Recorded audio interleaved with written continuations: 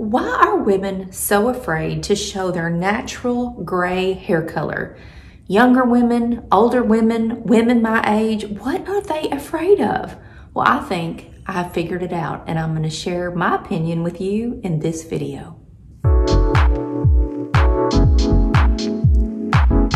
So hey there, welcome to my channel. My name is Renee. This is Welcome to My Curls and I am 51 years old and I have been completely gray headed for over three years now. My husband actually said something to me the other day that struck a nerve and I had never thought about my gray hair the way that he thinks about my gray hair. So let me tell you the story and what happened. We were in the car driving to Milwaukee to visit our daughter. I was reading comments on some of my YouTube videos as they were coming in because we had a seven hour car ride, not a lot to do but sit there and talk and, you know, answer comments. And a comment came in from somebody who said she was new to my channel, had watched a couple videos, and her comment was, Renee, I am so confused by you. Your gray hair confuses me. I can't tell if you are 30 years old or 70 years old.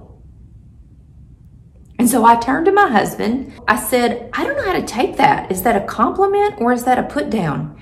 And he laughed and said, Well, by gosh, that's a compliment. If she thinks there's a possibility you are 30 years old, I would take that as a compliment. And I said, but how is she so confused? There would be a 40 year age gap in her thinking. 30 or 70? How can she not tell? He said, You know, Renee, it's not about your hair color. It has nothing to do with your hair color. The way you look confuses people because you have gray hair, which is a hair color that people associate with being older but you look young because you take care of yourself. Your skin looks good. You have a younger hairstyle. You wear makeup. You get dressed every day and you wear fashionable clothes, as he put it. He said, that's why people are so confused. You've got two things happening here and people just can't figure it out. And I thought, you know what? By golly, I think he's right. I do have two things happening here. And I this this conversation took place about a month ago, I guess, and I have really been thinking about what he said. And I've been thinking about that woman's comment, whether I was 30 or 70. And I think I've come up with the answer, or I came up with an answer in my mind that makes sense and I want to share it with you. For some reason, Women think there is a literal line in the sand, and on one side of that line is youngness, youth, and the other side of that line is old. Nothing really takes you across that line in the sand until you have gray hair. The minute you have gray hair, you have crossed that line in the sand and people think that you're old simply because of the color of your hair. I can think of no other one defining thing, one defining characteristic about somebody or their lifestyle or their appearance that would automatically make you think, well, that person's old. For 20 years, I colored my hair a very dark brown, almost a black with a little bit of a copper color to it. And for the last seven or eight years that I colored my hair, I hated it. I did not look like myself. I didn't feel like myself. I would look in the mirror. I'd be in this very bathroom, getting dressed, putting on the same makeup, fixing my eyebrows the same way, putting on the same lipstick and I would look at myself in the mirror and think, I look horrible. What is wrong with me? Am I wearing the wrong makeup? Am, is my jewelry not right? Is my hair color wrong? Do I need to put highlights in it or low lights or do I have too much red or is this color shirt just not working with my skin anymore? And I could not figure out why I looked so bad. And then I decided to stop coloring my hair. And I made that decision for a lot of reasons. I've shared them in so many videos. I will link those videos in the description box below this video if you are interested in all of the reasons why I stopped coloring my hair.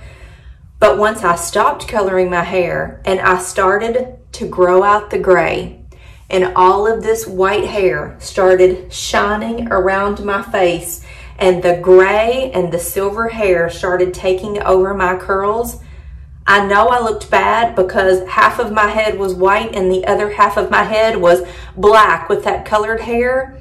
But internally, I realized I was looking better. I was becoming me. My hair was now starting to match my skin tone. My body was changing. My skin was changing. Because I was getting older, my body and my skin no longer matched that deep dark hair color that I was putting on my hair every three weeks. And once I could see all of this glorious color come out, and I started to embrace the color and I started to embrace the transition and realized that I was like a flower blooming. I was becoming myself. I was no longer hiding behind the hair color. I was no longer pretending and trying to be something that I wasn't. I was no longer trying to hang on to my 30 year old youth when I decided to embrace my age and myself and I had gray hair, my true happiness came out. I could see it when I looked at myself in my very own mirror. I could tell that I looked so much better. And one key factor in the woman being confused about my age, was I 30 or was I 70? According to my husband, is that I have kept my same youthful hairstyle. My hair has always been curly. It has always been big. It has always been a little bit of crazy. And regardless of the color of my hair, this is my hair. I have continued on with my curly hair. And I think that is so important to note because as we age, women think that they need to wear their hair short. They need to cut off their hair. And that, I think, is a factor that ages those women. But I have kept my curly hair. Let me turn around and show you how long it is. And actually, I just got a haircut last week. And when I went into my hairdresser, she said, Whoa, your hair is long. I said, I know, like I had a big growth spurt or something. And so we did cut off a lot of the length last week and just kind of shaped it up. It's looking a lot better. But let me give you a spin around so you can see exactly what I'm talking about. And then I'm going to show you some old photos of me with dark hair.